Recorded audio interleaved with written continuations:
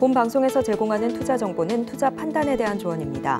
방송에서 제공하는 주식의 가치, 가격 상승 및 하락에 대해서는 방송사에서 보장하지 않습니다.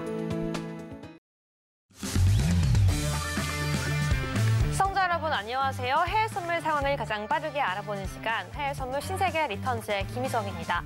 한국 시간으로 10시 30분 미증시는 개장을 했고요. 지금 3대 지수 같은 경우에는 인플레이션 데이터를 앞두고 있고 또 부채 한도 협상이 여전히 진행 중인 가운데 3대 지수 하락 출발하는 모습 보여주고 있습니다. 신용 경색에 대한 우려가 깊어지고 있습니다. 간밤 연준은 대출 관행 보고서를 통해서 은행의 대출 조건이 광범위하게 강화되었다고 발표했는데요. 이러한 대출 난이도의 상향은 산업과 가계의 유동성을 경색시켜서 경기 둔화를 가속화할 수 있기 때문에 시장은 지금 이 점을 눈여겨보고 있는 상황입니다. 실제로 이날 시카고 연은 총재는 신용 긴축이 이미 시작됐으면서 이로 인해 경기 침체까지도 가능하기 때문에 통화 정책을 설정할 때 절대적으로 고려해야 한다고 발언을 했는데요. 돈의 흐름은 유기적입니다. 그렇기 때문에 이 투자를 할 때 있어서 차트와 시황은 함께 봐야 하는데요. 여러분들에게 필요한 그 모든 정보 오늘도 해외선물 신에게 리턴즈에서 잡아드릴 테니까요. 끝까지 함께 해주시기 바라겠습니다. 그럼 오늘 함께하는 마스터 지금 바로 화면으로 만나보시죠.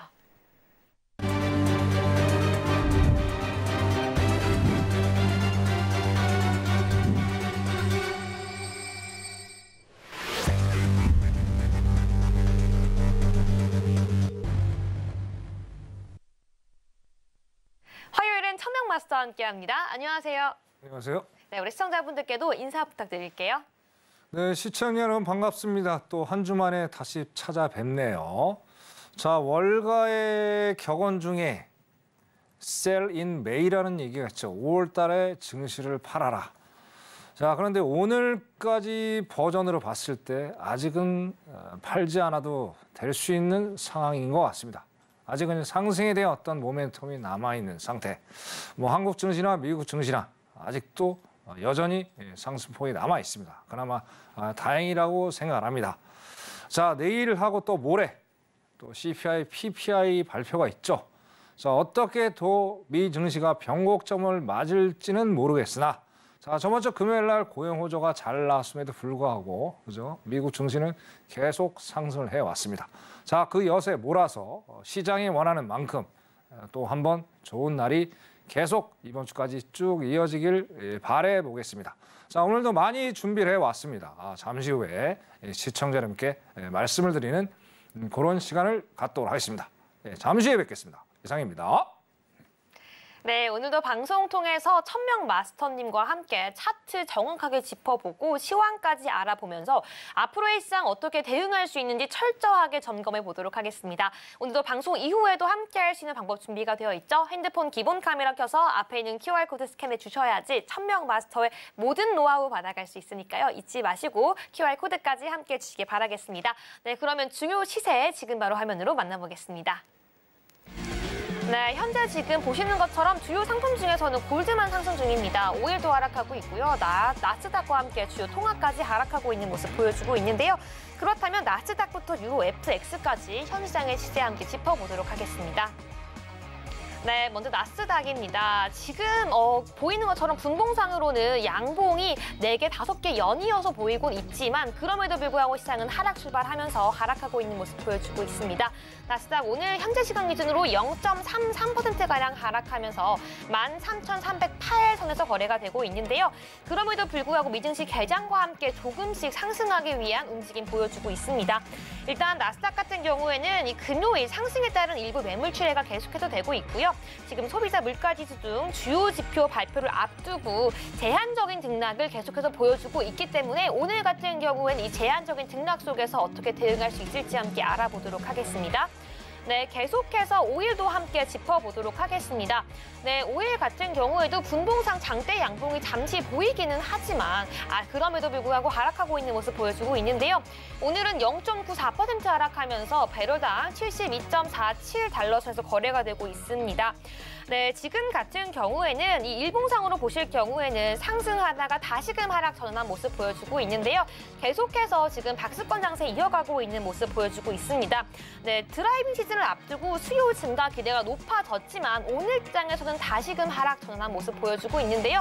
이렇게 상승과 하락 반복하면서 박스권 장세 그려가고 있는 오일 같은 경우에도 오늘 전략 함께 알아보도록 하겠습니다. 네, 계속해서 골드도 함께 짚어보도록 하겠습니다. 네, 골드 분봉상으로 하락하다가 다시금 22시 5분을 기점으로 완만한 상승 곡선을 그려 나가려고 하고 있는 모습 보여주고 있는데요. 큰 폭의 상승까지는 아니지만 0.1%가량 상승하면서 2,037달러선에서 거래가 되고 있습니다. 일단은 지금 22시 59분경에 단기 고점 형성하고 있고요. 계속해서 상승할 수 있을지 오늘 골드에 대한 추세도 잠시 뒤에 함께 파악해 보도록 할게요. 네, 마지막으로 유로도 함께 짚어보도록 하겠습니다. 네, 유로 같은 경우에는 0.41%가량 하락하면서 1.0987호 달러 선에서 거래가 되고 있는데요. 일단 유로 같은 경우에는 지표 부진 속에 소폭 하락하고 있는 모습 보여주고 있지만 그럼에도 불구하고 조금씩 반등하려고 하는 완만한 기울기 보여주고 있습니다. 네, 여기까지 주요 차트 함께 살펴봤습니다. 네, 그럼 천명 마스터와 함께 나스닥부터 오늘의 전략 함께 짚어보도록 하겠습니다. 네, 마스터님, 우리 시청자분들을 위해서 나스닥부터 함께 어떤 추세, 어떤 시장 짚어가야 될지 함께 짚어보도록 할 텐데요. 네, 지금 나스닥 0.3%가량 하락하고 있지만 계속해서 일본 봉상으로 보면은 이 양봉이 연이어서 나오고 있습니다. 네, 이런 게 어떤 차트를 좀 의미하는 것인지 또 오늘 하루를 돌아봤을 때 어떤 식으로 대응해봐야 될지 우리 시청자분들께 말씀 부탁드릴게요. 네. 자, 일봉. 그죠? 항상 제가 말씀드린 일봉을 먼저 체크를 하자. 네. 네, 왜냐하면 이제 직장 생활을 하고 와서 또 저녁에 어떤 시- 시장들을 살펴보려면 어떤 추세를 알아야, 알아야 되겠죠. 얘가 상방인지 하방인지 그거를 먼저 알아야 되겠다. 아무래도 제가 뭐 시향적으로 일단 먼저 말씀드릴 것 같으면 자 내일 빅 이벤트를 앞두고 있죠. 내일 빅 이벤트가 뭐가 있습니까? 일단 CPI가 있죠. CPI. 그죠? CPI. 자, 그 다음에 이제 바이든이 네 명과 모여서 부채 한도 협상을 하죠. 그죠? 내일 이 이벤트가 엄청나게 많이 이제 터져 있어요. 여기에 따라서 상당히 오늘 시장이 혼재될 가능성이 상당히 높겠다. 아, 그래서 에, 오늘 같은 경우는 어제도 변동폭이 그렇게 크진 않았어요. 그래서 오늘도 마찬가지로 어떤 변동폭이 크지 않으면서 어, 내일의 장을 에, 눈치 보기 장세가 이어지면서 약보합으로 어, 마감될 가능성이 시향적으로 이렇게 보인다. 아, 일단 시향적으로 그렇게 말씀을 드리고 네. 자 기술적으로 분석을 좀 들어가 볼게요. 자 기술적으로 보시면 일봉입니다. 아까 말씀드린 대로. 자 일단은 여기 보시면 쌍봉이 나와 있어요. 쌍봉이 나와 있어요. 예, 쌍봉이 나와 있는데 기술적으로 봤을 때는 하락의 어떤 내려갈 가능성이 조금 있어 보이죠. 어, 일단 그리고 자 그런데 지금 이제 기본적으로 5일 이평선이 20일 이평선을 골든 크로스 하면서 지금 올라가 있는 상태예요. 근데 지금 횡보를 지금 하고 있죠. 아까 말씀드린 시향적으로 말씀드린 대로 아직까지는 어떤 상승의 모멘텀이 조금은 남아 있지만 정확히 방향이 정해져 있지 않으면서 하방을 갈지 상방으로 갈지 설왕설래를 하고 있는 그런 상황이 지금 놓여지고 있다. 이평선을 그렇게 말씀을 드리고 싶고요. 자, 그 다음에 MAC도 제가 항상 드리는 말씀이에요. 물론 RSI도 중요합니다. RSI는 신호 강도 지수라고 하고 자 거래량하고 가장 밀접한 관계가 있어요, 여러분. 그래서 거래량도 보시는 것도 좋지만 예, 겸해서 어, RSI까지 같이 봐주시면 어떻게 되겠어요? 좀 더 우리가 신뢰도 있는 예, 그런 어떤 투자 전략을 짜 나갈 수 있겠죠. 근데 자 지금 RSI를 잠깐 볼게요. 자 RSI는 자 매도 매수 매도 매수가 계속 반복이 지금 되고 있다는 거예요. 이게 결국엔 이평선이 지금 방향을 못 트는 거랑 정확히 보여지죠. 자, 그다음 MACD를 볼게요. MACD. 자, MACD가 4월 10일 정도의 매도의 어떤 신호를 보여줬단 말이에요. 자, 그런데 오늘 버전, 오늘 버전은 어제죠. 어제 버전 다시 일단 상방의 어떤 시그널을 에, 보여주고 있는 상황. 자, 그러나 어떻습니까? 자, 기본적으로 여기가 골든 크로스가 나와줘야죠. 골든 크로스라는 뭐래요? 자, MACD 시그널이 위로 올라가 줘야 되겠죠. 자, 근데 지금 보시면 어떠세요? 지금 일자로 같이 합 수렴이 돼 있잖아요. 그러니까 이거 똑같이 RS, RSI가 MACD 동일한 거예요. 방향을 지금 못 틀고 있다는 거예요. 그래서 오늘은 정확히 한 방향을 잡기는 상당히 좀 에러점이 있겠다. 단 오리와 같아요. 오늘 같은 날은 우리가 투자하기는 오히려 쉬울 수가 있어요. 왜? 상단이 어느 정도 나와 있기 때문에. 그럼 어떻게 되겠어요? 현재 버전이 어떻습니까? 누가 봐도 오늘은 약 하방으로 갈 여지가 충분히 있겠죠. 그럼 어떻게? 일봉상으로 봤을 때 방향성은 없지만 오늘은 우리가 진입 들어가기는 상당히 심플할 수도 있겠다. 아, 그렇게 일단 말씀을 드리고 싶어요. 자, 오늘 진입가 말씀드릴게요. 네.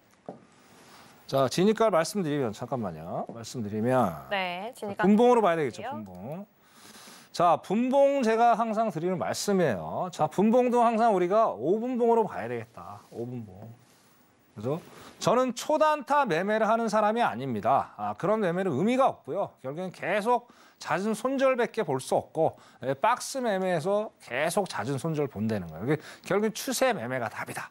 그럼 추세 매매를 보려면 어떤 봉을 분봉을 봐야 되냐? 5분봉이에요. 5분봉을 보시면서 여러분들이 어떤 투자의 방향을 가져가야 되겠다. 분봉 보는 것도 상당히 중요합니다. 아무거나 보는 거 아닙니다. 분봉, 5분봉을 적극 추천을 드리고 자, 오늘의 history를 한번 봐야죠. 오늘 history를 보고 왜 여기까지가 내려왔는지 우리가 정확히 알아야 돼요. 자, 그리고 지지와 저항에 대해서 또 말씀을 드릴게요.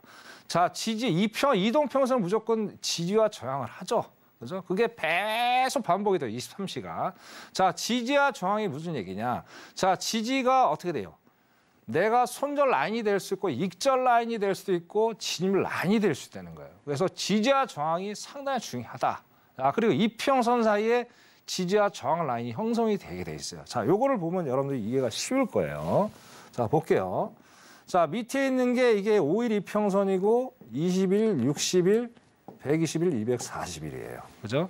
자, 그러면 자, 우리가 라인 한번 거 보는 거예요. 그럼 자, 맨 밑에 하단 저가가 나왔죠. 이게 이제 지지 라인이 되겠죠.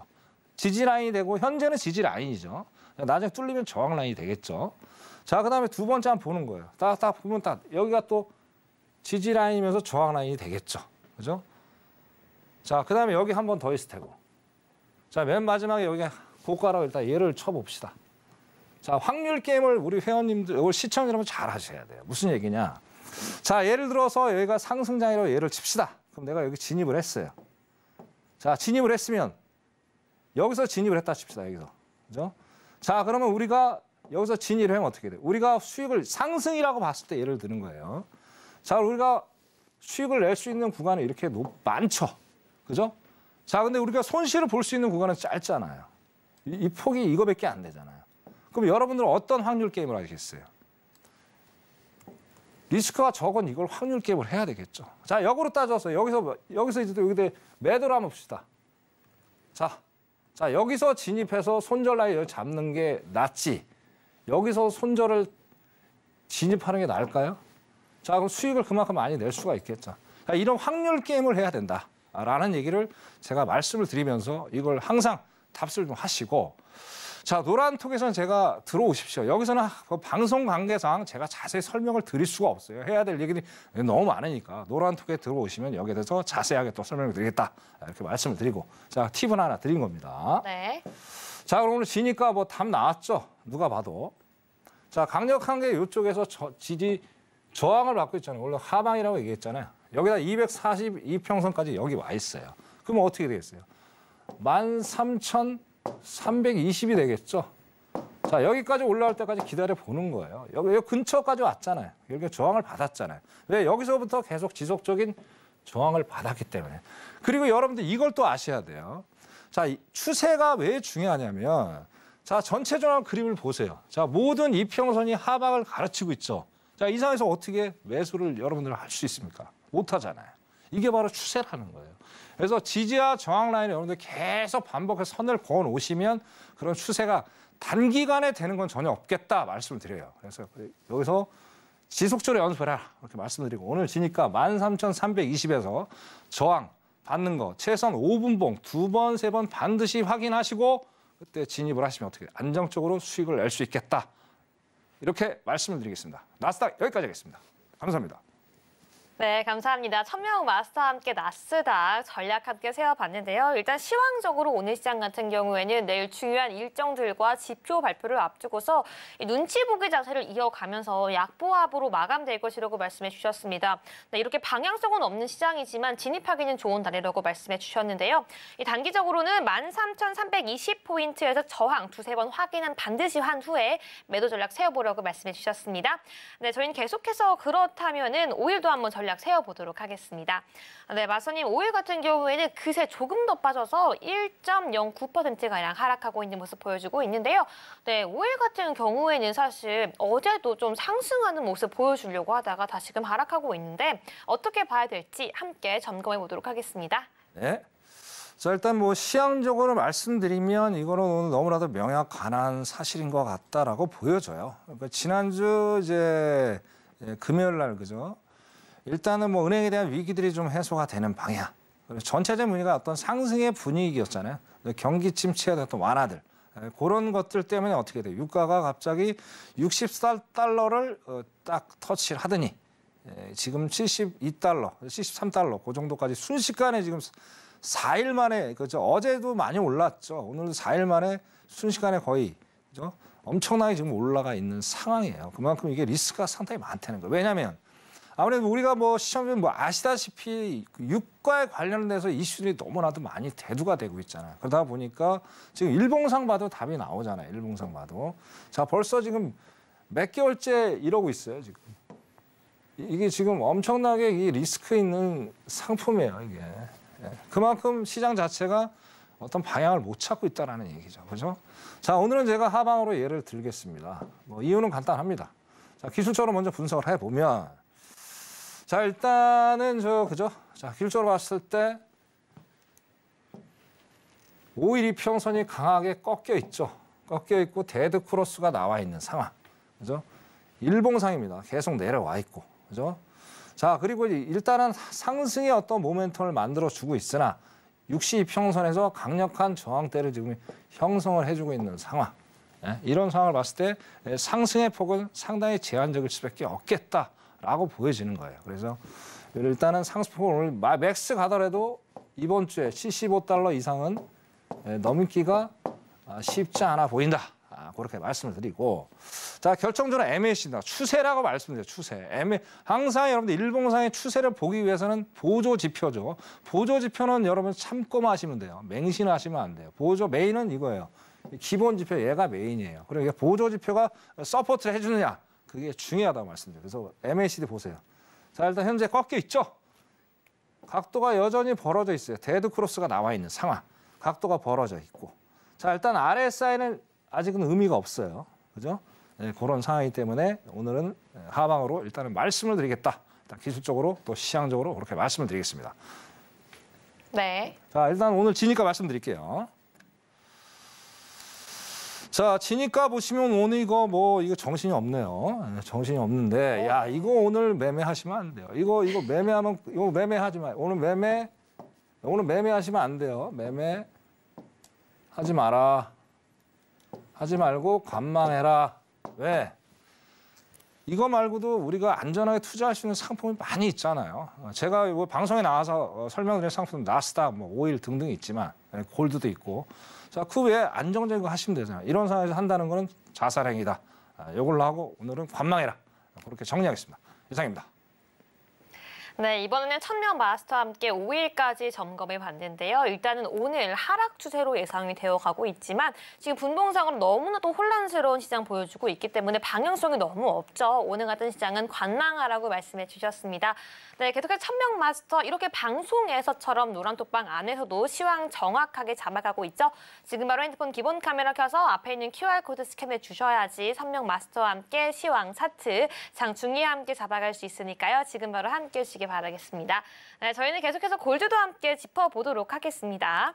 네, 골드 같은 경우에는 지금 0.13%가량 소폭 상승하고 있는 모습 보여주고 있는데요. 골드에 대한 전략도 함께 지금 바로 세워보도록 할게요. 네. 자, 제가 항상 제가 우리 시청자 말씀드리는 말씀. 자, 달러 인덱스를 먼저 확인을 해라. 제가 분명히 말씀드려요. 달러 인덱스. 자, 달러 인덱스는 골드하고 반비례 관계라고 있어요. 반비례. 저 반비례 관계 있다고 그랬어요. 골드하고. 자, 제가 방송 전에 딸 지금 좀 약간 좀 뭐 이벤트가 생겼을 수도 있겠지만 자, 일단은 달러 인덱스가 100일 초반대를 넘어서 100이 거의 후반 100일 후반대까지 오면서 100이 근접해 와 있단 말이야. 아직은 장 초반. 자, 좀 더 시간이 지나서 달러 인덱스가 좀 더 올라가 준다면 어떻게 돼요? 아무래도 골드가 하방에 압력을 받겠죠. 자, 그런 거라도 표현하다시피 현재 상승폭이 상당히 제한적이에요. 현재 0.12%밖에 안 돼요. 예, 골드도 답지 않은 거죠. 자, 과연 내일 올라갔다면 이게 벌써 이게 한 0.56까지는 올라갔어야 된다는 거예요. 그래서 시향적으로는 오늘은 상승폭이 상당히 제한적일 수 있겠다라고 말씀을 드리고 자, 기술적으로 보더라도 그렇습니다. 기술적으로 보더라도 그죠? 자, 윗꼬리가 강하게 이제 지난주에 달렸죠. 물론 아직 정확히 방향은 안 나왔지만, 그죠? 자, 월요, 화, 금요일 날 장대 음봉이 나오면서 이렇게 조그맣게 일단 candle이 예, 방이 이제 뭐 일단 양봉의 candle이 나왔지만 이 candle 자체도 어떤 방향성이 좀 정확히 나와 있지 않, 않다고 보는 거예요. 거기다가 지금 또 어떻습니까? 일단은 뭐 일, 이평선상 golden cross는 나와 있으나 5일 이평선에 강하게 어떤 저항을 받고 있는 모습을 보여줬을 때 상승폭은 상당히 제한적이다. 기술적으로 그렇게 말씀을 드리고 싶고 자 그리고 MACD 또 말씀드려요. MACD 중요하다고 그랬어요. 자 MACD도 어떻습니까?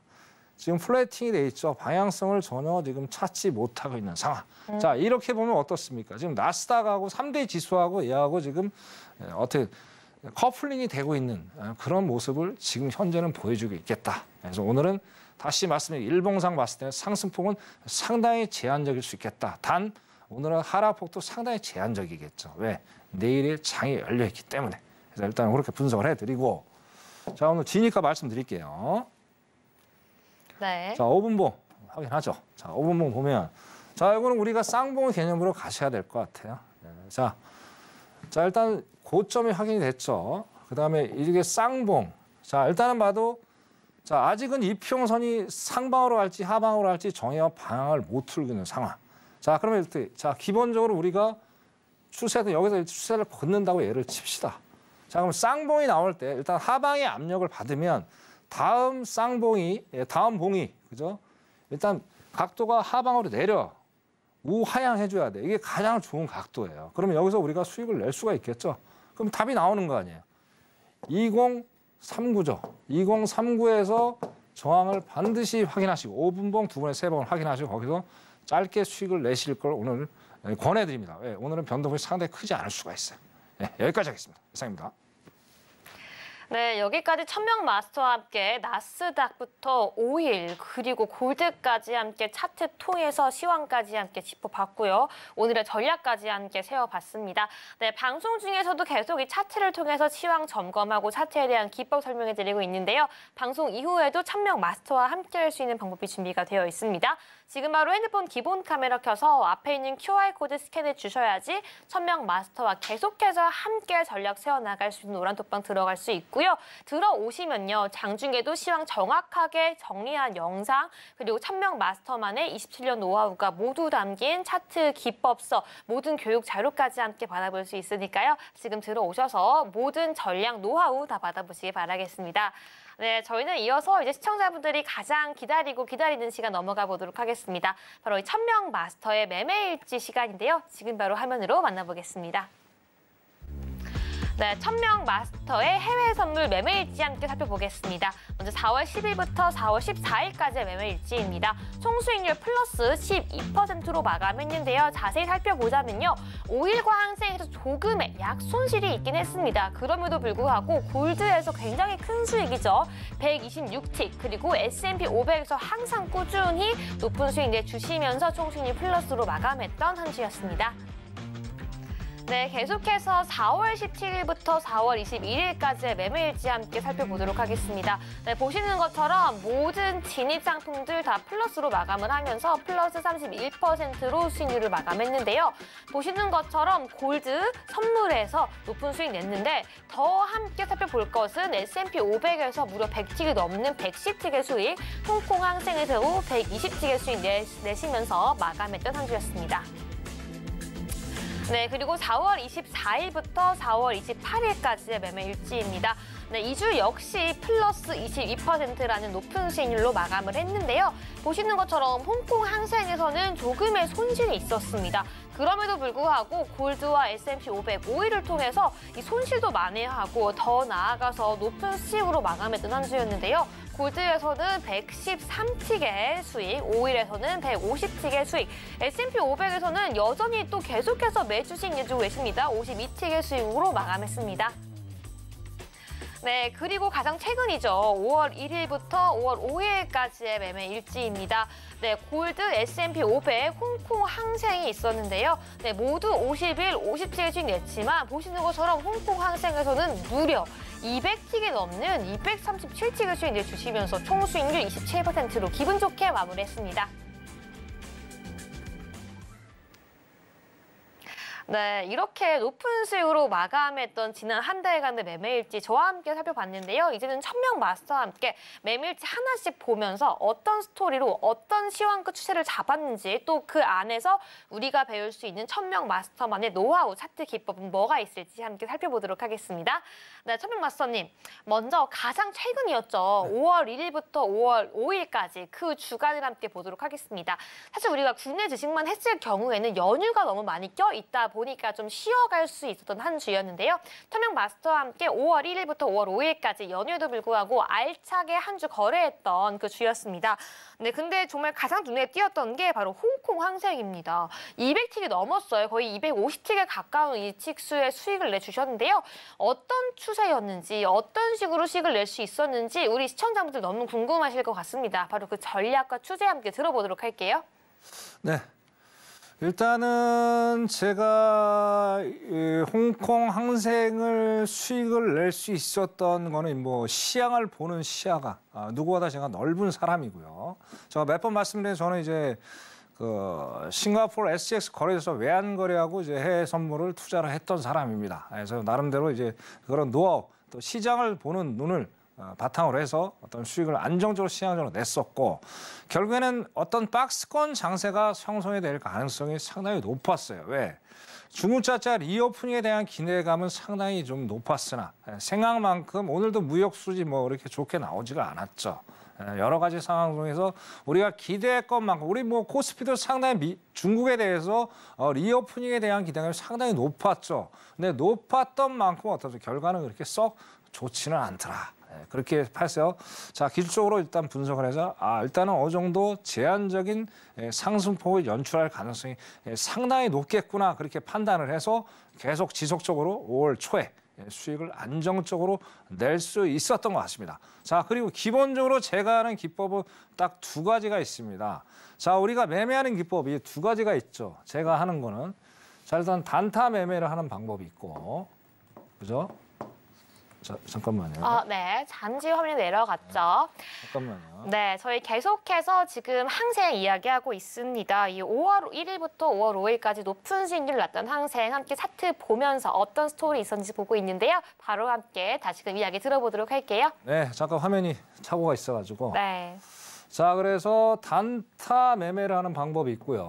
어, 그 다음에 스윙으로 하는 방법이 있어요. 스윙. 네, 두 가지 방법이 있어요. 그죠? 자, 근데 대부분 사람들이 단타 매매를 많이 하지 스윙 매매는 잘 안 해요. 왜? 추세를 볼 줄 모르니까. 자, 그런데 제가 말씀을 드릴게요.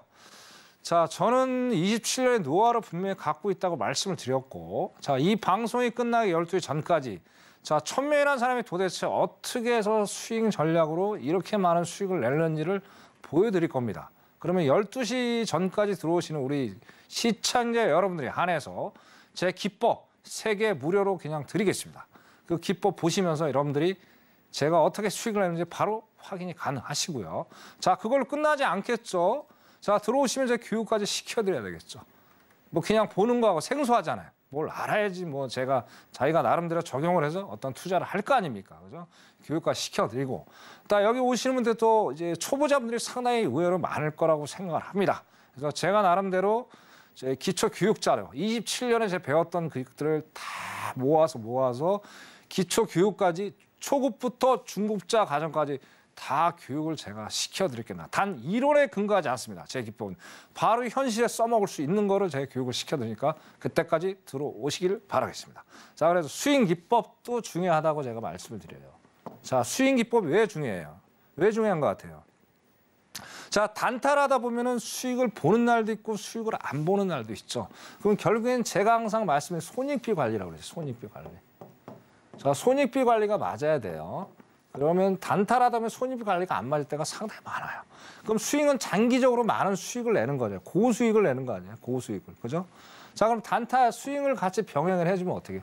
설사 자, 5일 중에 단타면 3일 손실을 보더라도 이렇게 손실 보면 안 되겠죠. 자, 근데 이틀 동안 수익에 수익을 많이 냈어요. 그러면 어떻게 돼요? 일단 손익비가 맞는 거죠. 금액적으로. 다신 기술적으로 안 맞는 거예요. 이런 매매를 하면 안 된다. 그래서 이렇게 해서 제가 두 가지 전략을 일단 수익을 냈고요.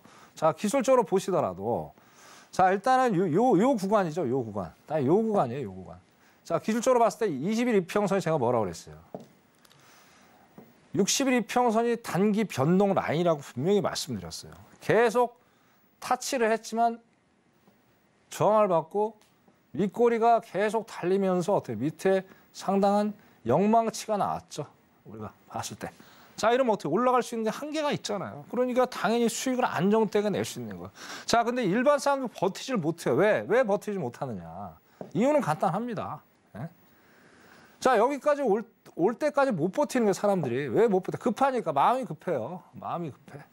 다시 한 말씀, 해외 선물은 기다림의 미학이라고 제가 말씀드렸어요. 기다리십시오. 기다리시면 분명히 기회가 옵니다. 그래서 이렇게 수익 전략은 일본으로 오시면서 장기적으로 투자를 해야 된다. 이렇게 말씀드리고 MAC도 강조 드릴게요. 자, 하방의 추세요. 누가 봐도 하방이잖아요. 그죠? 자, 하방은 MACD를 보라고 그랬어요. MACD. 자, MACD가 일단 각도가 35도에 꺾였단 말이에요. 자, 여기서 어떻게 상방을 얘기를 하냐 이거예요. 그죠? 물- 물론 보조 지표지만 보조는 support에서 확실하게 맞으면 더 이 기본 지표보다 더 신뢰도가 높다라는 얘기예요. 이게 천명이 얘기하는 MACD입니다. 이렇게 수익을 안정적으로 내서 고수익을 냈다라고 제가 말씀을 드리겠습니다. 여기까지 하겠습니다. 네, 여기까지 홍콩 항생 이야기 해봤고요. 저희는 좀 짧게 이 계속해서 5월 첫 주에도 수익을 내주셨던 S&P 500에 대해서 잠깐 한번 이야기 들어보고 넘어가 보도록 할게요.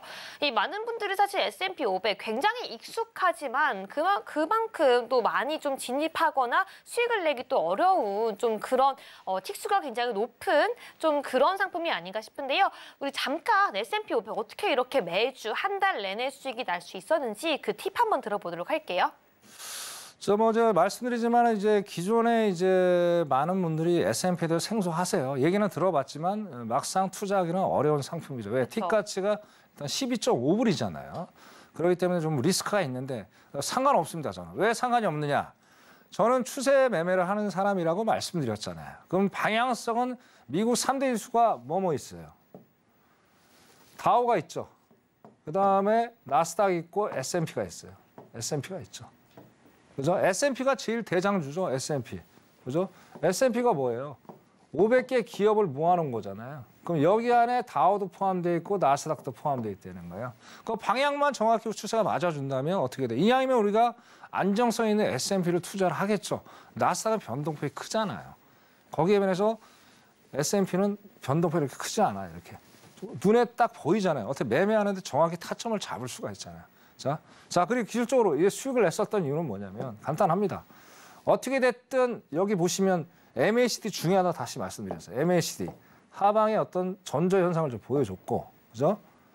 이렇게 보여주다 보니까 여기서도 계속 쌍봉을 만들면서 하방의 어떤 시그널을 에, 만들어 줬다는 얘기예요. 그래서 여기서 강력하게 dead cross가 나와주면서 어, 두번 나왔죠 dead cross가 그래서 이렇게 나오면서 수익을 제가 안정적으로 했다 아, 그렇게 말씀드리겠습니다. 이거는 시간이 없어서 짧게 정리하겠습니다. 이상입니다. 네, 여기까지 마스터와 함께 매매일지 함께 리뷰해 봤습니다. 네, 계속해서 이러한 좀 정확한 팁들 방송으로만 듣긴 너무 짧다, 아쉽다라고 하시는 분들 기회가 있죠. 지금 화면 앞에 QR코드가 나가고 있는데요. 핸드폰 기본 카메라 켜서 앞에 있는 QR코드 스캔해 주셔야지 모든 시황, 모든 꿀팁 함께 장중에 이어갈 수 있으니까요. 지금 바로 들어오셔서 천명 마스터와 함께 해주시기 바라겠습니다. 네, 저희는 이제 오늘 시청 투자자들이 가장 관심 있게 봤던 뉴스 함께 점검해 보도록 하겠습니다. global hot issue 지금 바로 화면으로 만나보시죠. 네, 먼저 첫 번째 뉴스입니다. 이 달러화 가치가 달러 인덱스 기준으로 소폭의 강세를 보이고 있습니다. 미국의 고용이 여전히 견조한 것으로 나타나면서인데요. 다만 미국의 부채 한도 협상과 인플레이션 지표 발표를 앞둔 탓에 달러화의 강세 폭은 제한됐습니다. 한편 외환 시장 등 글로벌 시장의 이목은 조 바이든 미국 대통령이 부채 한도 협상에 물꼬를 트기 위해 초청한 9일에 예정되어 있는 미국의 백악관 빅4 의회 지도자 초청에 집중되고 있습니다. 이에 더해 이번 주에는 미국의 인플레이션 지표도 발표가 예정되어 있습니다. 네, 두 번째 뉴스입니다. 지난주 후반 발표된 미국의 4월 고용 지표가 강한 모습을 보이면서 미국의 경기 침체 우려가 완화되며 원유 소비에 대한 기대가 살아났습니다. 뉴욕 유가는 미국의 경기 침체 우려가 완화되며 2거래일 연속 상승해 이틀간 6.71% 올랐는데요. 이날 종가는 지난 5월 1일 이후 최고치를 기록했습니다. 시장은 또 미국 지역은행들의 주가 반등도 경기 침체 우려를 완화하는 데 일조했다고 보고 있습니다. 네, 마지막 이슈 함께 살펴보겠습니다. 우크라이나 정부는 러시아가 사실상 흑해 곡물 거래를 중단했다고 밝혔습니다. 오는 18일은 러시아가 주장하는 흑해 곡물 수출 협상 만료 일자인데요.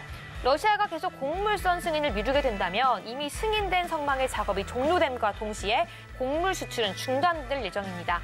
러시아는 유엔이 약속한 자국 농업과 비료업계에 대한 제재 해제를 요구하고 있는 가운데 구체적인 연장 조건으로는 러시아 농업은행의 세계 은행 간 금융통신협회 복귀, 자국 간 비료 수출을 위한 암모니아 수송관 우크라이나 구간 재개를 다섯 가지를 주장하고 있습니다. 네, 여기까지 글로벌 핫이슈 점검해 봤고요. 이슈 하나씩 다시 한번 천명 마스터와 함께 이야기해 보도록 하겠습니다. 네, 천명 마스터님, 먼저 첫 번째 이슈입니다. 이 달러화가 고용 고조 등에 여전히 강세를 보여주고 있는데요. 네, 지금 상황에서 달러화 어떻게 살펴봐야 될지 함께 짚어보도록 하겠습니다. 자, 아무래도 이제 미증시의 어떤 방향을 틀 수 있는 어떤 방향을 정할 수 있는 척도가 경우에 미달러하고 이제 국제 금리라고 봐야 되겠죠. 네. 워낙 지금 핫 이슈가 많은데 자, 제가 화요일 날 말씀드렸다시피 결국에는 달러는 강세로 돌아설 가능성이 상당히 높겠다라고 좀 말씀을 드려요. 자, 이게 강한 그 그러니까 첫 번째 이유는 강한 고용 강세입니다. 자, 지난주 5월 5일이죠. 5월 5일 날 비농업이 예상보다 엄청나게 높게 나왔어요. 자, 연준은 이제 파월은 골치가 아파지는 거예요. 왜? 자, 일단 6월 달에 금리 중단에 대한 어떤 논의를 TF에다 올려놓고 얘기를 하겠다고 분명히 어필을 했어요. 자, 그러기가 무색하게 바로 강한 고용 지표가 나왔단 말이에요. 자, 그럼 시장은 어떻게 됐어요? 자, 일단 동결은 둘째 치더라도 일단 피벗을 벌써 기대를 하고 있죠. 7월까지만 해도 이제 피벗이 가겠다. 금리 인하 하겠다는 얘기예요. 자, 이 제동이 걸린 거예요. 그죠? 그럼 제동이 걸렸다는 무슨 얘기예요? 역으로 따지면 연준이 자 6월 달에 금리를 동결에 대한 얘기를 하겠지만 올릴 수 있다는 걸로 시사점을 주는 거죠. 자 금리가 오른다는 건 뭐예요? 결국엔 동반 상승 달러도 오른다는 얘기죠. 자 여기에서 또 한번 달러의 강세가 올 가능성이 높겠다라고 일단 먼저 말씀을 드리고 싶고 자 두 번째는 이제 부채 한도가 제일 크죠. 아까 제가 이제 처음에 이제 말씀하실 때 드린 말씀대로 자 어쨌든 내일 바이든하고 네 명이 모여서 어, 부채 한도 협상을 하겠죠. 이건 정치적인 뭐 색이 강하지만 뭐 2011년도에도 그래 오마 오바마 때도 그랬고 어쨌든 계속 반복이 됐죠. 아무래도 미국이 이제 소비 국가다 보니까 맨날 부채가 한도가 초과가 됐어요. 때 이번에도 당연히 저는 결과적으로 물론 시간들이 필요하겠지만 자 옐렌이 벌써 6월 1일부터 뭐 800, 800만 개 일자리가 사라질 수 있다. 이번에 부채 한도 협상 안 하면은 또 거기에다가 또 뭐 이래저래 또 안 좋은 얘기를 계속 언어 한수를 하고 있죠 시장에다가. 빨리빨리 이제 보채는 거죠. 빨리 위기를 미리 사전에 대응을 해야 되겠다. 이제 그런 것들 때문에 부채 한도는 무조건 협상이 될 여지가 충분히 있겠다. 그러면 어떻게 돼요? 역으로 따지면. 자 일단은 인플레이션 강한 고용이 나와서 일단은 금리를 올리는 것 증시한테는 안 좋지만 자 부채 한도를 해결이 될 수 있다면 그죠? 증시에는 또 호재가 될 수 있겠죠. 그죠? 그래서 양날의 칼입니다. 호재도 있고 악재도 있는 그런 상황. 근데 여기에 우리가 기준점을 잡아야 되겠죠. 과연 차후에 우리 미 증시 또 이거로 또 코스피는 어떤 방향으로 갈 것이냐가 여러분들이 알고 싶은 키포인트가 되실 거라고 생각을 해요. 저는 그 답을 금리에서 한번 찾아보고 결론을 좀 내리고 싶습니다. 자, 금리를 한번 볼게요. 자, 보시면 왼쪽 화면이 자, 3개월 몰 10년 몰입니다. 이건 연준이 바라보는 금리예요. 연준이 바라보는 거. 자, 그다음에 요거는 2년물 10년물 이거는 시장이 바라보는 거예요. 자, 이것부터 이제 머리가 아픈 거예요. 아니 바라보려면 같이 바라보지 왜 연준은 2년 이, 3, 왼쪽 화면 바라보고 시장은 오른쪽 화면 바라보냐 이거죠. 같이 바라주면 얼마나 좋겠어요. 그만큼 투자가 어렵다는 얘기예요.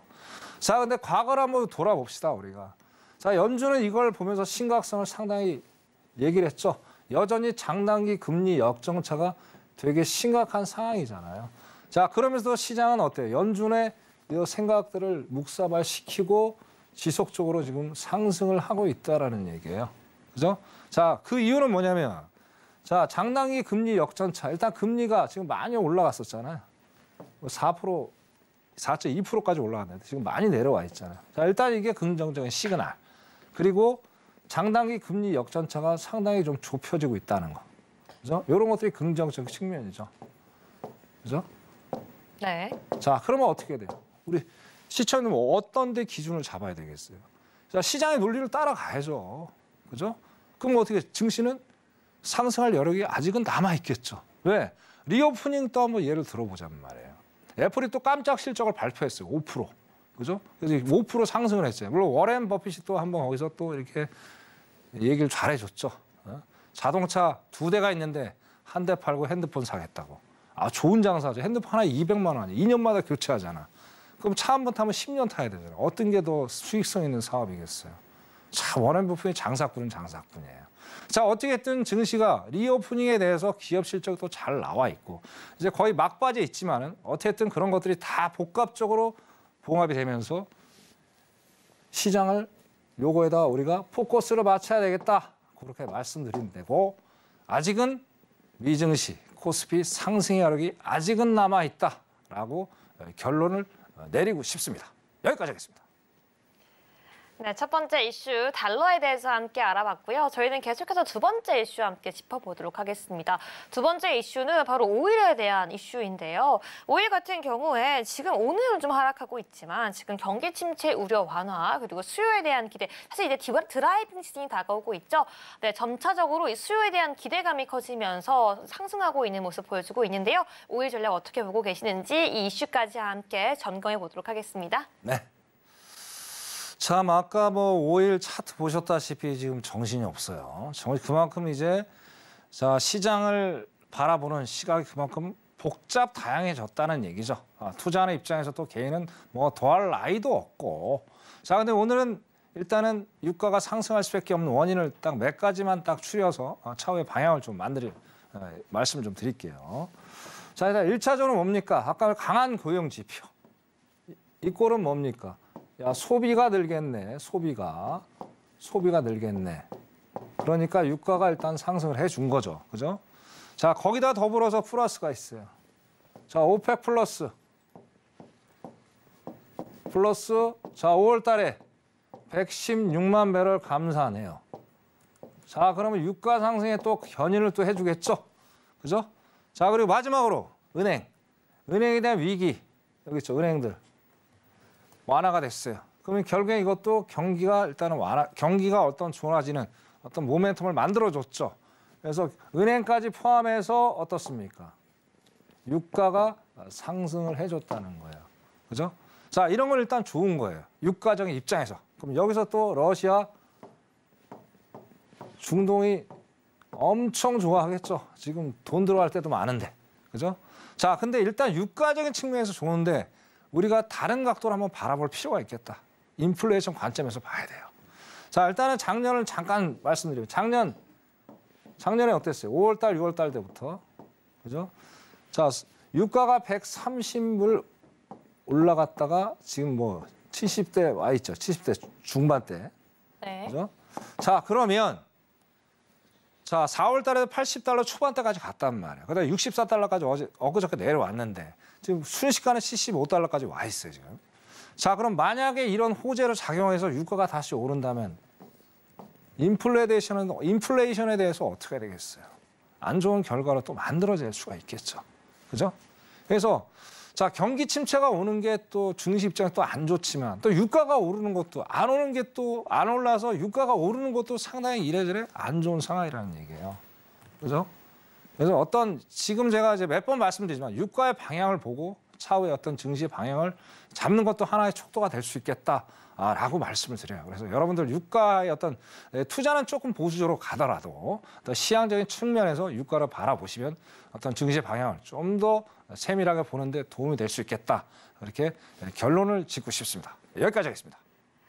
네, 여기까지 두 번째 이슈 정리해 보도록 하고요. 저희는 마지막 이슈 빠르게 살펴보도록 하겠습니다. 이 러시아 우크라이나 거래 협정이 위태해지면서 곡물가가 들썩이고 있는데요. 이 이슈까지 빠르게 한번 전봉해 보도록 할게요. 네, 지금 뭐 차, 이게 참 역사는 반복이 된다는 얘기가 오늘 이걸 보면서 제가 또 참 심히 걱정을 안 할 수가 없습니다. 에, 작년에도 참 우크라이나 러시아 때문에 곡물 때문에 상당히 문제가 됐죠. 에, 그게 또 인플레이션을 뭐 유가와 더불어서 상당히 또 부추겼고 지금 뭐 우리 지금 음식값 자체가 고공행진을 하고 있잖아요. 물론 이제 물가 상승률이 뭐 3%대로 내려 내려왔대는데 우리가 일반 서민들이 느끼기에는 어떻게 아이도 실감이 안 나죠. 저 엊그저께만 제가 뭐 음식점 갔는데 또 올랐어요. 뭐 대중 뭐 목욕탕도 지금 값이 다 올랐고. 근데 아직은 우리가 체감하기 힘들다. 그러니까 어떻게든 뭐 분위기상 숫자살은 내려왔다고 얘기하는데 어떻게요? 제가 오늘 데이터를 보면서 야 이거 작년의 사태가 또 한 번 반복이 될 수밖에 없겠구나라는 아주 안 좋은 좀 어, 생각이 좀 들었어요. 자, 요걸 보면서 간단히 좀 설명을 드릴게요. 네. 자, 일단은 전체적으로 보자고요. 전체적으로. 전체적으로 봤을 때 작년 10월에 135.4 정도의 어떤 지수를 보여줬어요. 가격 지수를. 자, 그런데 지금 현재 4월 버전입니다. 4월 버전이 135.9예요. 자, 그러면 0.4가 더 업이 된 거죠? 0.4가. 더 업이 됐죠? 자, 그럼 전체적으로 뭐, 어, 봤을 때는 어때요? 작년에 가, 작년까지 갈 수 있는 여지가 충분히 있겠죠. 일단은 전체적으로 봤을 때. 자, 그 다음에 이제 곡물이에요, 곡물. 자, 곡물이 작년 10월에는 116.8이었는데, 자, 3월부터 조금씩 조금씩 상승을 하는 모습을 보여주고 있어요. 자, 이게 지금 곡물이 제가 보는 제일 심각한 상황이라 보는 거예요. 자, 우크라이나가 전 세계에서 이 두 번째, 세 번째 곡물 세- 수출 국가입니다. 근데 지금 뭐 작년에 2분의 1이 줄었대요. 수출량이. 아니, 저 재배량이. 이유는 뭐예요? 당연한 거 아니에요? 자, 전쟁 나가 있잖아요, 남자들. 그러니까 뭐 농사질 사람들이 남자, 여자가 할 수 있는 게 남자가 할수 있는 게 있잖아요. 근데 남자가 안 해도 큰 일을 많이 하죠. 그러다 보니까 한계가 있다 보니까 이런 사태들. 자, 이런 사태에다가 이제 더 중요한 건 이제 설탕이 제일 좋아요. 설탕. 설탕이 지금 어마어마하게 올라갔죠. 설탕이 자 10월 달에 108.6이었어요. 지금 뭐 어마어마하죠. 그죠? 뭐 1월 달부터 거의 뛰기 시작. 2월에부터 계속 지금 계단식 상승을 하고 지금 3월 달, 4월 달에 엄청나게 좀 올라가 있는 상황. 그죠? 자, 설탕에 쓰이는 게 되게 상당히 많잖아요. 설탕이 안 들어가는 음식이 없고 재료가 없지 않습니까? 이런 상황들을 바라봤을 때 과연 인플레이션이 다시 잡힐 수 있을까라는 퀘션이 좀 들고요. 자, 일단은 어떻게 됐든 뭐 미국 CPI가 전년비 핵심 예, 코 물가 상승을 일단 내려오고 있지만 자, 이게 과연 진정이 되지 않는다면 어떻게 해요? 증시에 또 악재가 될 수 있는 상황이 발생하겠죠. 어쨌든 빨리 유엔이 다시 합의를 해서 어쨌든 2년 동안 고생해서 1년 동안 고생해서 인플레이션 잡았으니까 원만히 해결돼서 여기서 고점이 안 나오길 간절히 바라보겠습니다. 네, 오늘 여기까지 하겠습니다. 감사합니다. 네, 여기까지도 지금 시장에서 가장 중요한 시황들, 기사들, 이슈까지 함께 모두 점검해 봤습니다. 네, 여러분들 우리 방송 통해서 많은 것들 우리 또 알아가고 있는데요. 방송 이후에도 시청자분들 천명 마스터와 함께 공부하고 시황 점검할 수 있는 시간이 있습니다. 또 여기에 더해서 천명 마스터의 온라인 무료 강연회가 남아 있는데요. 이 4월 CPI 발표 후에 미증시 방향성 함께 점검해 볼 수 있는 시간 5월 10일 수요일 날 이 무료 온라인 강연에 들어갈 수 있으니까요. 지금 바로 핸드폰 기본 카메라 켜서 앞에 있는 QR코드 스캔하셔서 지금 바로 들어오셔야지 모든 전략, 모든 방송 들을 수 있으니까요. 지금 바로 함께 해 주시기 바라겠습니다. 네, 천명 마스터님 오늘 좋은 말씀 감사드립니다. 감사합니다. 네, 본 방송에서 제공하는 정보는 투자 판단을 위한 조언일 뿐 해당 종목의 가치나 수익률을 보장하지 않는다는 점 다시 한번 안내해 드리겠습니다. 오늘 저희가 준비한 내용은 여기까지입니다. 저는 내일 이 시간에 더욱더 알찬 내용으로 찾아가겠습니다. 오늘 밤도 시청해주신 여러분 모두 고맙습니다.